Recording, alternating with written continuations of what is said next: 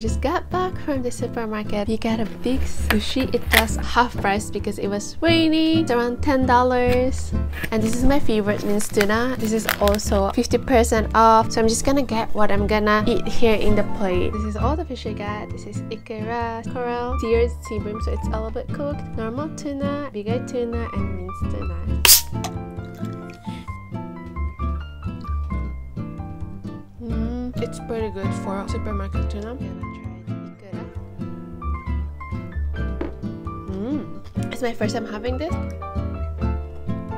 Mm, well, that's pretty good. Mm. So this is the seared sea bream. Mmm, the wasabi is pretty spicy. I like that. So this is my favorite one, minced tuna. Mmm, that's really good. Make sure to check out Supermarket Sushi. It's good quality and it's really cheap.